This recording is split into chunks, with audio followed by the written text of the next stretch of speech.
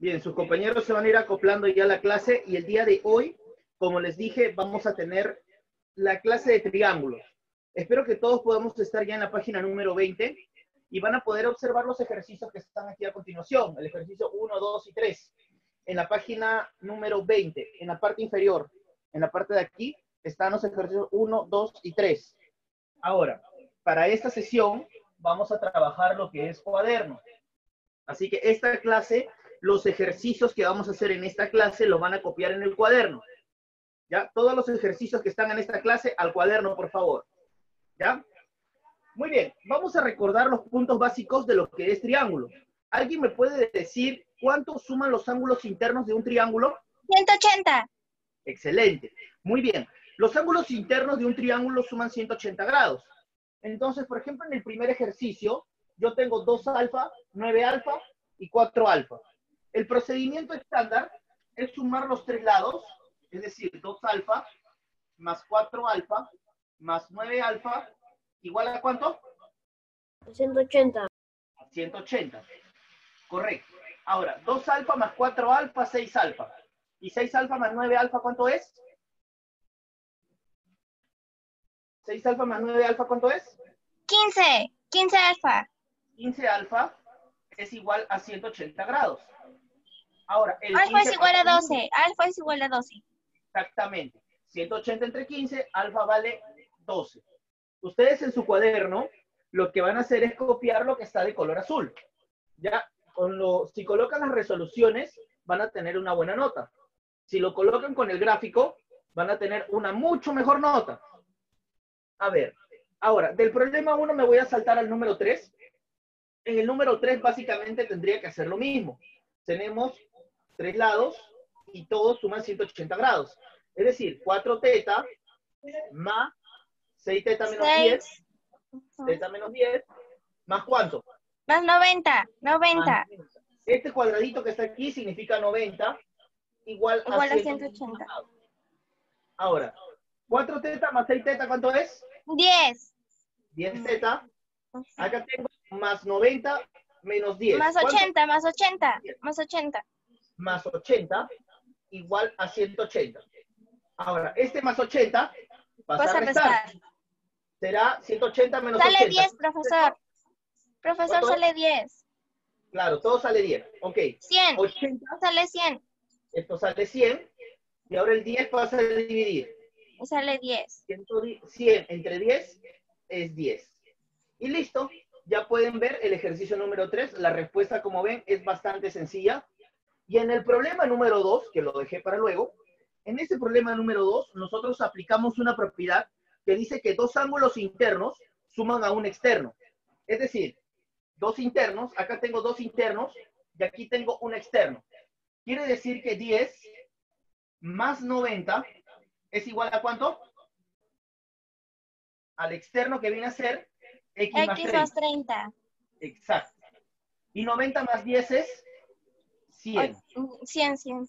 Es igual a x más 30. 30 pasa a restar. ¿Y cuánto 70. sale? 70.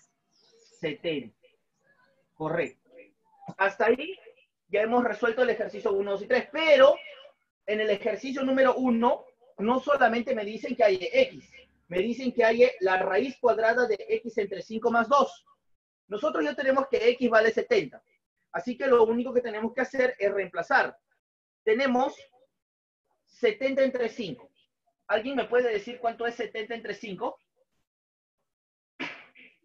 70 entre 5, ¿cuánto es?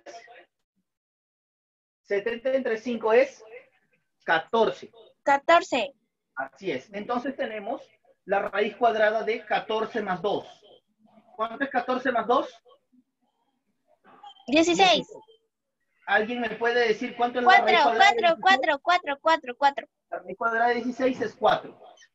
Así que el ejercicio no solamente terminaba en hallar X, sino también en hallar lo que después también me pedían. Entonces, van a copiar lo que está de azul y lo que está de naranja. Si ustedes quieren tener una nota mayor, lo que tienen que hacer es copiar los gráficos. Muy bien. El gráfico ya lo tienen en el cuaderno. Voy a borrar el ejercicio número 1. ¿A alguien le falta el ejercicio número 1? Mm, No, profe. ¿Puedo borrar el 1? ¿Listo?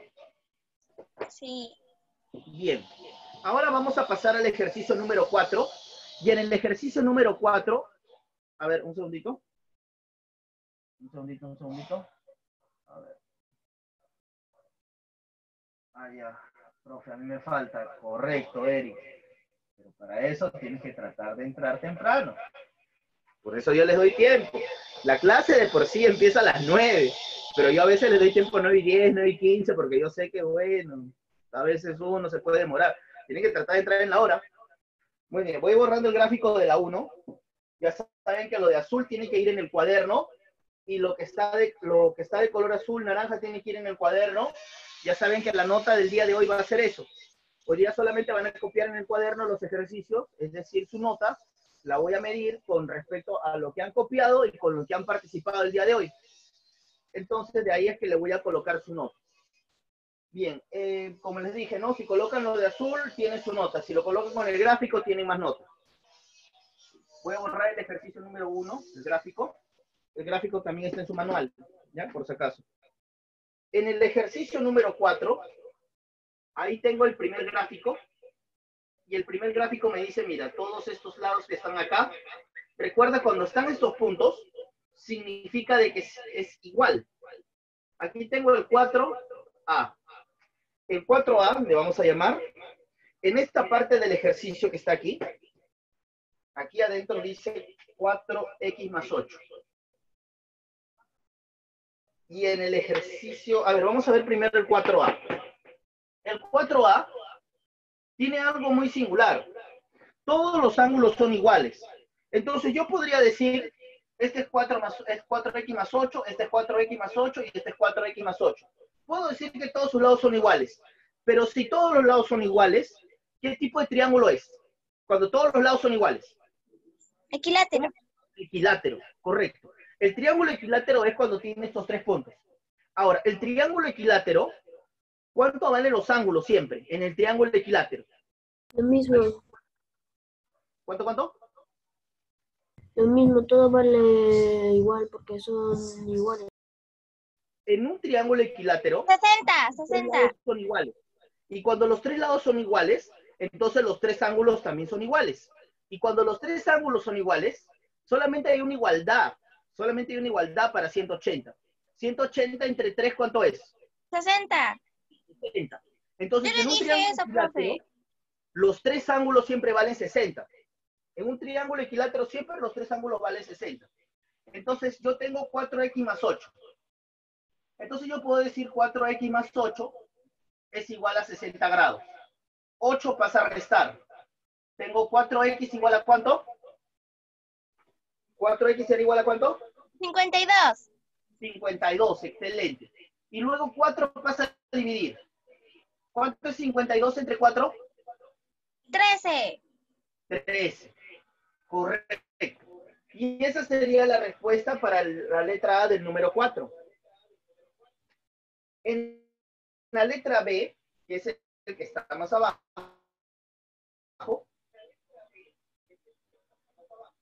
tengo esta figura. Aquí dice esta forma, aquí dice 70, y aquí dice X. ¿Qué tipo de triángulo sería ese?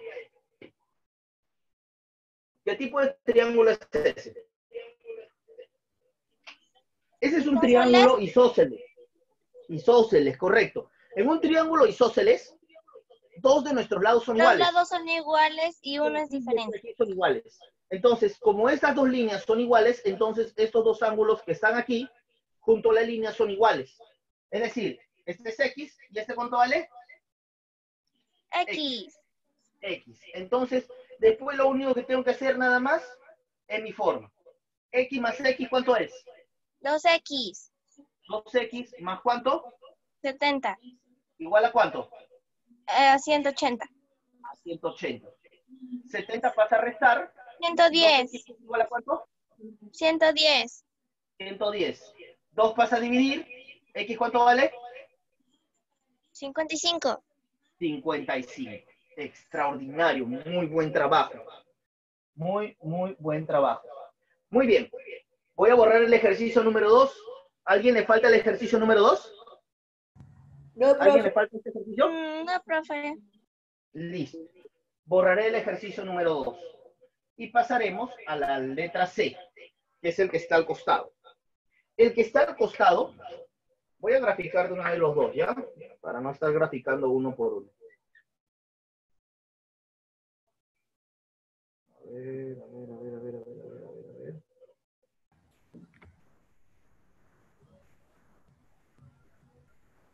a ver. De una vez lo voy a graficar para no estar graficando uno por uno, ¿ya? 50 es X, es 8X y es. Listo. Ok, en esta letra C, que está aquí al costado, eh, esto es muy parecido al anterior, es un isósceles. ¿Cuánto vale el de arriba? Recuerda, mira, el X. isósceles es aquí. Mira, mira, mira bien. Este isósceles, acá parte de la línea, este es el centro. En el centro está X. Los que están por fuera son iguales. Entonces, si el de la izquierda vale 50, el de la derecha, ¿cuánto vale? 50. 50. Entonces, lo que yo voy a hacer es sumar los tres lados. 50, 50 más más 50 más X es igual a 180. Igual. Sale 100 más 80. X Es igual a 180. Dime directamente Sale cuánto 80. vale X. X vale 80. 80. Excelente. Y por último tengo este ejercicio de aquí, el de, que dice 8x más 7x. ¿Cuánto es 8x más 7x? 15 15X X más más 90 más 90. igual a Igual a 180. 180. 790 pasa a restar. y tengo 110. 15x igual a 90. ¿X cuánto vale? ¿X cuánto valdrá? 90 entre 15 es 6. Bien, hasta aquí. Esto de aquí, como le vuelvo a decir, los que están de color negro es lo que tendría que copiar. Los que recién están ingresando, les vuelvo a repetir, les comunico, que los ejercicios del día de hoy van en el cuaderno. Entonces, ustedes lo que van a hacer es copiar lo que yo estoy colocando aquí como las resoluciones y van a tener su nota. Si es que ustedes lo colocan con los gráficos, van a tener más nota. Este cuarto bimestre ya no voy a evaluar como nota máxima 19. Este cuarto bimestre voy a evaluar como nota máxima 20. Entonces, los que han de repente tenido notas por ahí, han tenido por ahí un 17, un 18, esta es la oportunidad de poder elevar su nota hasta 19 y 20. ¿Ya? Este cuarto bimestre a muchos les va a servir bastante. Vamos a ver a continuación el ejercicio número 5. En el ejercicio número 5, ahí me dicen demostrar la existencia de triángulos. Acá presten mucha atención, porque cuando se trata de demostrar, ahí vamos a utilizar una forma que espero que lo hayan podido ver en algún momento. Demostrar un triángulo no es necesariamente hallar un lado, es solamente demostrar. Cuando tienes los tres lados de un triángulo, lo que puedes hacer es calcular un aproximado. No necesariamente se resuelve, lo que haces es calcular un aproximado haciendo una demostración. En español, lo que tú vas a hacer es agarrar un lado cualquiera de cualquiera, cualquiera de los lados. A ver, voy a agarrar el número 3. Voy a agarrar el número 3 y lo voy a encerrar entre la suma de los otros dos. Es decir, 8 más 5. Y en el otro lado voy a poner la resta de los dos. 8 menos 5. 8 menos 5, ¿cuánto es? 3. 3 menor que 3 menor que Trece. 8 más 5, ¿cuánto es? 13. 13. Díganme, ¿esta ecuación es correcta? Mírenla bien, mírenla bien. ¿Esa ecuación será correcta? No. No, exactamente. Esta ecuación no es correcta. Acá no dice menor igual a 3. Acá dice 3 es menor que 3. 3 no es menor que 3. 3 es, 3 es un número que es igual a 3. No, esto no puede ser. Entonces, si esto no puede ser, entonces el triángulo no existe. Entonces, aquí me están diciendo que yo te muestre si este existe. Este no existe. Este no existe. Ahora, vamos a hacer lo mismo en el otro caso. Aquí dice, por ejemplo, vamos a agarrar el número 6. Lo encerramos entre la suma de los otros dos. Es decir, 4 más 3, 4 menos 3. ¿Cuánto es 4 menos 3? Uno. Uno. Siete. 6. Siete. Siete. Siete. ¿Esto será correcto? Sí. Esto sí es correcto. Esto sí es correcto. Porque 6 sí es menor que 7. Y 6 es mayor que 1. Entonces, esto sí está demostrado. Esto sí existe. Entonces, como ven, esta es la forma en la que yo demuestro si un triángulo existe o no existe. La cuestión es que a veces los triángulos pueden ser un poco engañosos, porque sobre todo cuando son escalenos, cuando tienen diferentes medidas, tú a un triángulo rectángulo, a un triángulo cualquiera, no le puedes poner cualquier medida. No es que a mí se me ocurre que este lado vale 9, este 10 y este 11. No, no pueden valer necesariamente cualquier cantidad. Hay cantidades que pueden admitirse y cantidades que no pueden admitirse. Entonces, acá si por ejemplo yo quiero formar un triángulo, una pregunta. ¿Se va a copiar lo que está de negro en el 5? dígame, ¿Se va a copiar lo que está de negro en el 5? claro, lo que está de color negro. Así es. En Ajá. estos ejercicios todo lo que está de color negro. ¿Ya? Recuerden, si es que ustedes hacen el, hacen este, el copiado del ejercicio, tienen su nota, si es que colocan la resolución en el cuaderno, y si colocan el gráfico, tienen una nota mayor. Ahora, otro detalle que les estoy volviendo a repetir es que los ejercicios de la clase de hoy son en el cuaderno. Ya, hoy día no estamos trabajando manual. Los ejercicios sí están saliendo del manual, pero los ejercicios se copian en el cuaderno. Tengan cuidado con eso. No lo hagan al costado porque después se hace un entrevero. ¿Puedo borrar el número 4? ¿Alguien le falta el número 4, la A y la B? ¿Alguien le falta la A y la B? No, profe. Sí, borro la A y la B. Entonces voy a copiar, el, voy a desarrollar el último ejercicio del número 5, que también me dice que demuestre.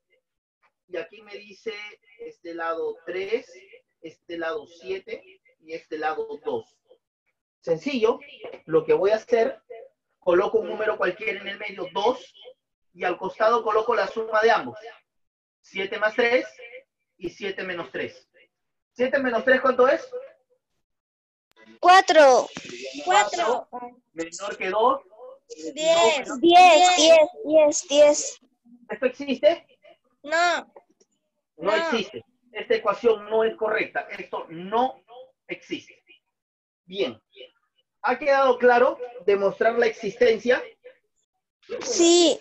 Sí. Bien. Ahora vamos a ver el problema número 6. Y en este problema número 6, acá sí tenemos que tener un poquito de cuidado. En el problema número 6, dice lo siguiente. Acá está el triángulo. Acá dice 3, 7 y X. Entonces, lo que yo tengo que hacer específicamente en este triángulo, primero tengo que calcular las posibilidades que hay. ¿Cuáles son los números que puede aceptar X? Entonces, yo lo que voy a hacer es esto. X está entre la suma y la resta. La suma es 7 más 3. Y la resta es 7 menos 3. 7 menos 3, ¿cuánto es? Cuatro. Cuatro. Cuatro. Diez. y 10. Entonces, mira, ¿cuáles son los números que puede aceptar X? X puede ser igual a qué número? ¿Cuáles son los números que se aceptan dentro de esta ecuación? Cinco, seis, siete, ocho, nueve y hasta ahí. 5, 6, 7, 8 y 9. Es Esos son nueve. los valores Es nueve. Esos son valores que yo puedo asumir. Sin embargo, en el ejercicio me dice calcular el máximo valor entero. Nueve. Nueve. El máximo valor es 9. Nueve. Bien. X es igual a 9. Ese sería el máximo valor que yo puedo asumir en ese ejercicio. Vamos a ver el otro ejercicio, el número 7. En el, ah, no, el número 6B. Cada uno de las seis, profesor. Estamos en la 6B. A ver, en la 6B dice, acá hay un triángulo. Aquí dice que este lado vale 5, este 9 y este X. Muy bien. Ya sabes cuál es el procedimiento para demostrar. En el medio va X. Y en el otro lado, ¿qué va? ¿Aquí qué va? Cinco- Nueve más cinco. 9 más 5 y del otro lado 5 menos Nueve menos Del otro lado cinco. 9 menos 5. 9 menos 5. ¿Cuánto sale esto? 4X 4 y el otro 14. 14. Y 14. Muy bien. Entonces, X, ¿qué 5, valores 6, aplique? 5, 6, 7, 8, 8, 9, 10, 11, 9, 10, 11, 12, 13 y 13 nomás. Vale 13. 14 también. No, no, vale 5, vale 5, vale 5. 14 también. No, 14 no. 14 no, muy bien. Ahora, en este ejercicio te dice, calcule el mínimo valor. ¿Y ese es Cinco. el mínimo valor. 5. X Cinco. vale 5. X vale 5. Ese sería el mínimo valor. Muy bien. Hasta acá espero que lo hayan podido comprender. Espero que hayan entendido. Díganme, este, ¿alguien le falta copiar estas dos que están aquí? No. ¿Alguien le falta copiar esto? ¿A nadie? Bien. Borro. Vamos a ver a continuación el problema número 7. En el problema número 7, me dan un triángulo normal como cualquiera y me dicen que este lado vale 60 más teta y este lado vale 30 menos teta. Y este lado de aquí vale x. Tú podrías 60. hacer lo siguiente, ¿ah? Podrías hacer lo siguiente. Podrías decir que si este es x, ¿este lado cuánto vale? Este X. es un llano. Este es un llano. Ah, Si esto es x, ¿cuánto vale este lado? 180 menos X. 180 menos x, sumas los 3, igual a 180. Podrías hacer eso, pero si tienes una propiedad que te pueda cortar todo ese procedimiento tan largo, lo mejor es que lo hagas.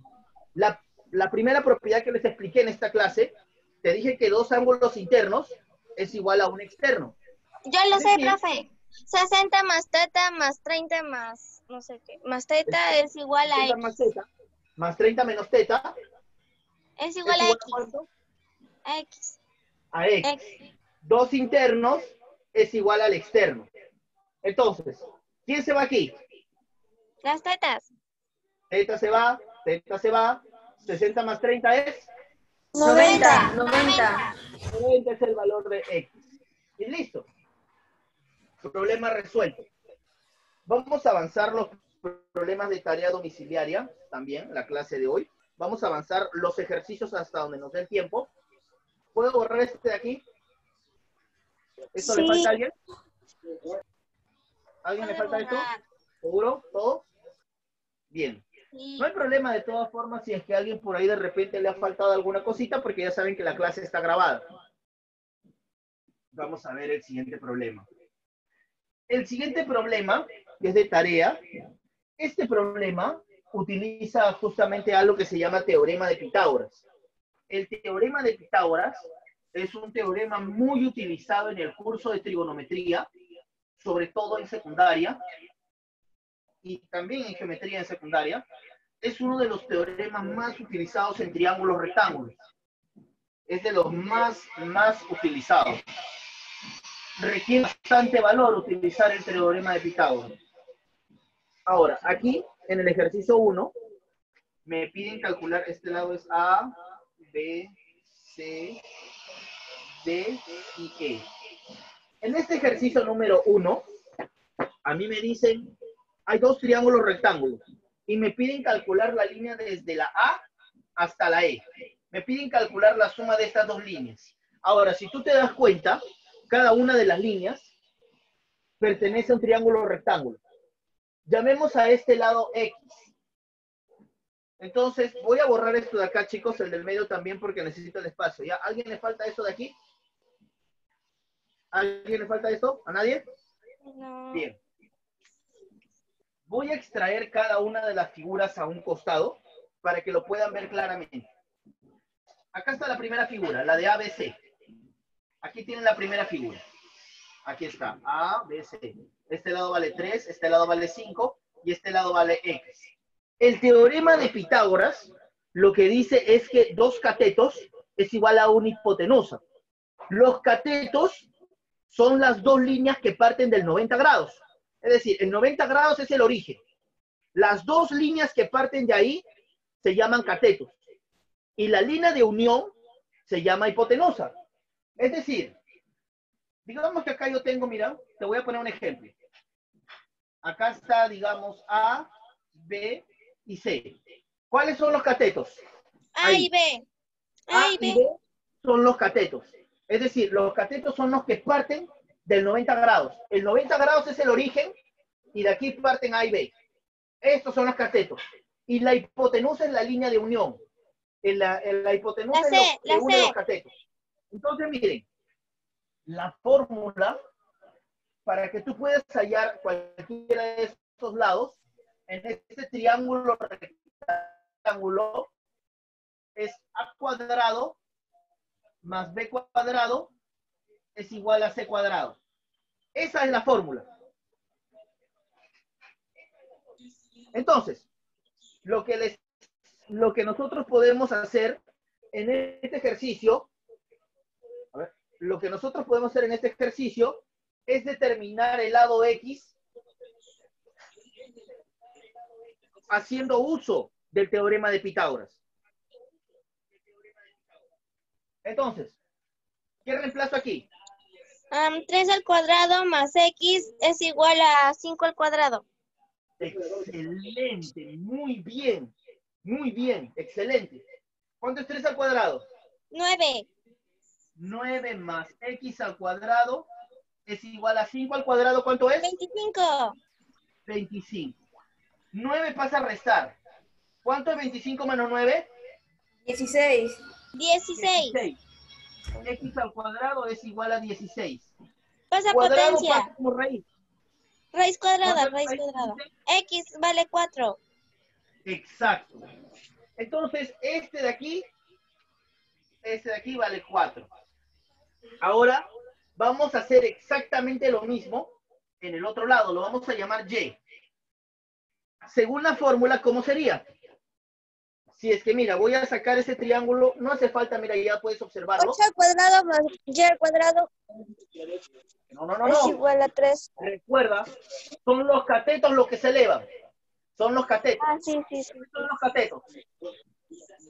4 a 4 entre Cuatro raíz raíz de tres. cuadrada de 3 al cuadrado y al cuadrado es igual a 8. A 8 al cuadrado. Esta es la fórmula del teorema de Pitágoras. Claro que este ejercicio sí es un poquito avanzado, pero es bueno que lo vayas sabiendo. El raíz cuadrado se va. 4 al cuadrado, ¿cuánto es? La estos raíz son se dos, va. dos números independientes.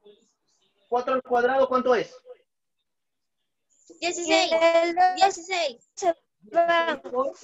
¿Cuánto es raíz de 3 al cuadrado? 9. Raíz de 3. Y raíz de 9. Cuando tengas esto, No cuando tengas esto, así, automáticamente estos se van y te queda así, 3. ¿Ya? Profesor, yo le dije que la raíz se va y usted no me hizo caso. Claro, se va la raíz para el número 3, no para el número 4. No, Se yo dije la, la- el 3. El 4 sí lo eleva, por eso es 16 por 3. Más y al cuadrado igual a... ¿Cuánto es 8 al cuadrado? 64. 64. 64. ¿Cuánto es 16 por 3? ¿Cuánto es 16? 48. 48. Ahora, este 48 pasa a restar. ¿Cuánto es 64 menos 48? 16. 16. 16. Sale Y 4. es igual a raíz de 16. ¿Esto cuánto vale? 4. Y sale 4. 4. Entonces llévale 4. La cuestión ahora es, lo que me han preguntado es cuánto vale desde A hasta E. ¿Cuánto vale A hasta E? 8. 8. Este es 4 más 4, 8. 8. A E vale 8. Esto, este ejercicio que hemos visto es un ejercicio un poquito más avanzado. ¿Ya?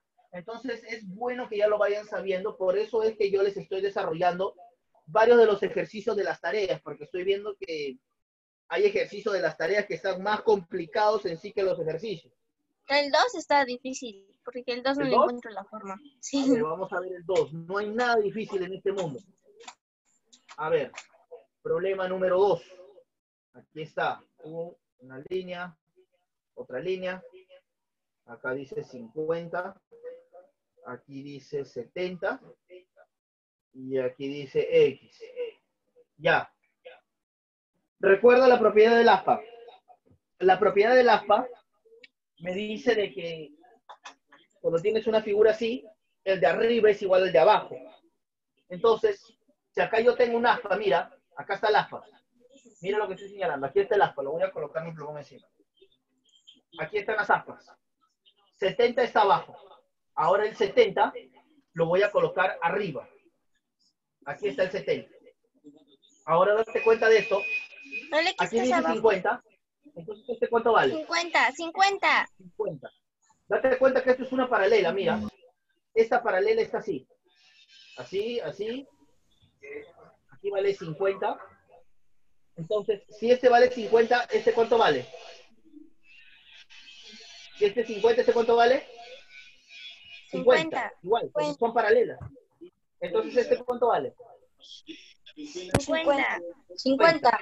Entonces, este 50, este 50, y este que está aquí, ¿cuánto vale? X. X. X. Date cuenta que todo esto es un círculo. Una figura completa, una rotación completa, ¿cuánto vale? 360. 360. Vale 360. Pero no me hace falta sumar hasta 360, porque la mitad ya es un llano. La mitad ya es un llano. 180. ¿Cuánto vale? 180. 180. Entonces esto es X más 50 más 70 Más igual a 70 es igual a 180. 80. 50 más 70, ¿cuánto es? 120. 20 igual a 180. Ilumíname, ¿cuánto vale? ¿Cuánto vale X? 60, 60, 60. 60. Así es. Nada más. Extraordinario desempeño. Muy buen trabajo. Eh, vamos, a, vamos a concluir hasta ahí nada más. Eh, en el número 3, al ojo nada más. ¿Cuánto vale X? En el número 3. Tengo una congruencia de triángulos. En la número 3. En la número 3 tengo una congruencia de triángulos. Congruencia de triángulos quiere decir triángulos similares. Acá tengo en el de arriba que este vale X y este vale omega. Y el de abajo vale 40 y también aquí vale omega. ¿Cuánto vale X? Si lo vas a comparar. 40, 40, 40. Escúchame. 40. El número 3 se lo voy a explicar en video. ¿Ya? El día de mañana sí, porque ya está por cerrarse. Escúcheme, el día de mañana, solo por el día de mañana, no vamos a tener videoconferencia. Ya, el día de mañana les voy a colocar video, así como los que les colocaba antes, solamente les voy a colocar video nada más para el día de mañana. Así que mañana pueden estar un poco más relajados. ¿Estamos? Mañana solamente vamos a tener video, solamente mañana. ¿Ya? Solamente mañana vamos a tener video. ¿Ya, chicos? Ya. Pero eso sí, les voy a revisar la ciencia temprano. ¿Ya? El día de mañana, en el video que voy a colocarles, voy a empezar con el nivel 2. Voy a empezar con el nivel 2 y si, si es que me alcanza, me alcanza el video de grabación, les voy a explicar el 3, 4 y 5 de esta tarea domiciliaria que son los ejercicios que nos están faltando. ¿Ya? ¿Hasta ahí todo claro? Sí, profe. Chicos, ¿ya Una pregunta. trabajo de hoy? La número 3 lo va a hacer. ¿Están dando tarea? Ha dicho que si le alcanza el tiempo de grabación lo va a Lo que estoy hacer. mandando es justamente copiar los ejercicios que hemos desarrollado. ¿Ya? Bien, chicos. Eso sería todo. El día de hoy copien estos ejercicios, por favor, ordenadamente. Si los copian con su gráfico, tienen una nota mayor. Y ya saben que el día de mañana, solo por mañana no tenemos videoconferencia. El día de mañana voy a colocarles video. ¿Listo, chicos? ¿Todo claro? Muy bien, jóvenes. Eso sería todo por el día de hoy. Espero que hayan podido entender la clase. Muchas gracias por su atención, jóvenes. Hasta luego, hasta mañana y que tengan muy buenos días, chicos. Hasta. Cuídese. Hasta luego. Chao, profe. Bye.